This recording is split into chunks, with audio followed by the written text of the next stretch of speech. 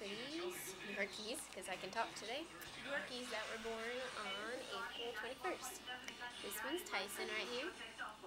And then this one's Stewie. And then Sweetie's right next to him. Sweetie.